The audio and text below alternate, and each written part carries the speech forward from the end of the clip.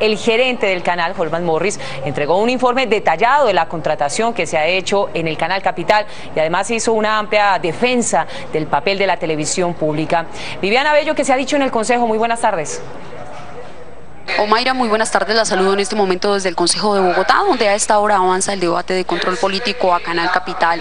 Ha sido su gerente, Holman Morris, quien ha entregado cifras de la contratación que se ha realizado desde el año 2012, que ha dicho se ha sujetado a la ley y a la industria de la televisión. Escuchemos lo que ha dicho. El 90% de la contratación directa de Canal Capital tiene que ver con camarógrafos, tiene que ver con periodistas, tiene que ver con las empleadas del aseo, tiene que ver con las 30 personas que hacen parte de la planta que hace funcionar a Canal Capital. Esas 30 personas de Canal Capital, señor Palacio, no pueden hacer ni desarrollar toda la actividad de televisión. Por eso se sale a la contratación directa, por eso se contratan los camarógrafos, por eso se contratan los productores, se contrata la prestación hasta el servicio de transporte.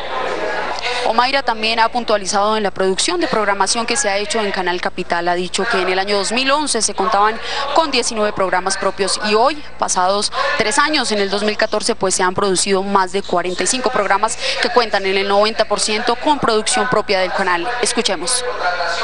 Yo le quiero decir al honorable consejo que este consejo, señor presidente, se tiene que sentir orgulloso hoy día de lo que se ha convertido Canal Capital.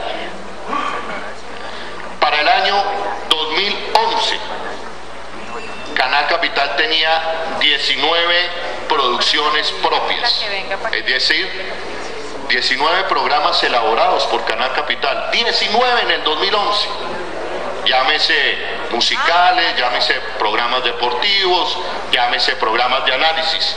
En el 2012, cuando entra la Bogotá Humana a Canal Capital, esta cifra se triplica.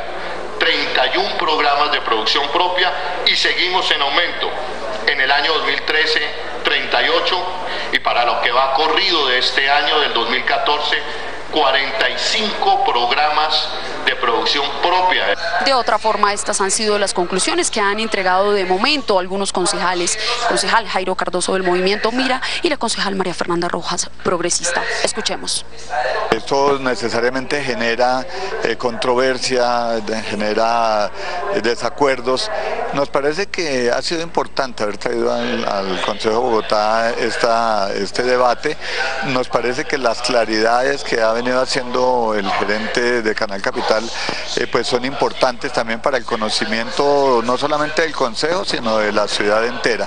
Estamos esperando las conclusiones de ello, pero nos parece que es importante tanto para el canal como para el Consejo y especialmente para la ciudad. En términos generales, eh, por ejemplo, nos muestra algunos eh, eh, eventos, algunos programas especiales muy importantes en el sector cultural, digamos la, ópera Turandot, Tannhausen, digamos una serie de eventos que han sido catalogados por los críticos de la cultura como un, un, producto de muy buena calidad, digamos que nunca en el país se había realizado y pues todos esos esfuerzos, si, queremos una televisión bogotana de calidad, pues implica tener también un personal dedicado a eso.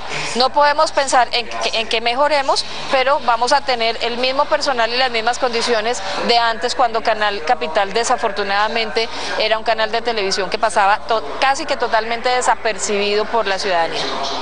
También ha venido la ciudadanía, la que ha hecho presencia a esta hora de la tarde en el Consejo de Bogotá con letreros que expresan el apoyo a la televisión pública de Bogotá. Omaira es la información que nosotros registramos de momento desde el Consejo de Bogotá. Continúa usted en estudio con más información. Viviana Bello, Noticias Capital.